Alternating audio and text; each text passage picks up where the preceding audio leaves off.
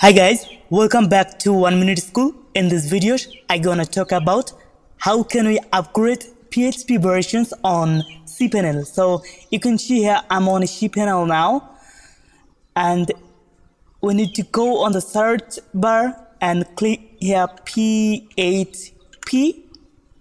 Then we can see here multi PHP manager.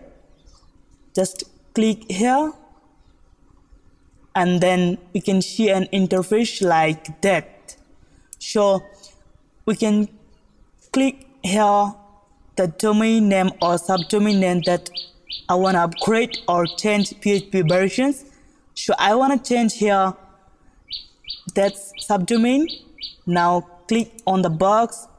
We can change here any versions such that if I want here 8.0 I need to click that